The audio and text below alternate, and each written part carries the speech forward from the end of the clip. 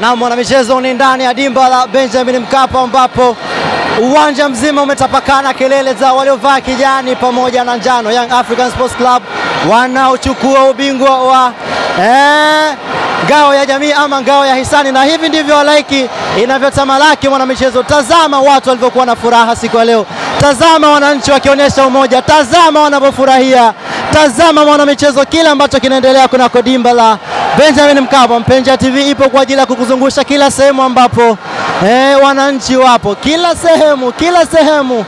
Ni kina nani wana furaha kuliko wananchi leo? Ni kina nani wenye raha kuliko wanayanga? Ni kina nani waliochukua kombe kama sio wanayanga?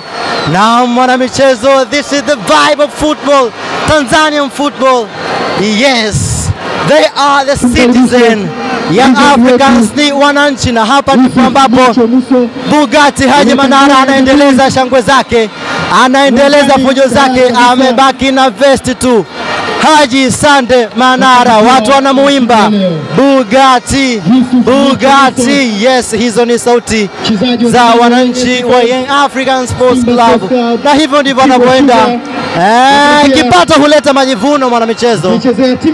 Yes, na hapa ndipo ambapo wananchi wana shangwe kweli kweli, wanafurahi, wana enjoy, wana kila sababu ya kujiita miamba ya soka la Tanzania kwa siku kuu kabisa, siku ya leo mwanamichezo, na hapa ndipo wananchi ambapo wanatamalaki. Wananchi wana raha, na kuuliza tena, kina nani wana raha kama si wana Yanga? Kina nani wana furaha kuliko wana Yanga usiku wa leo?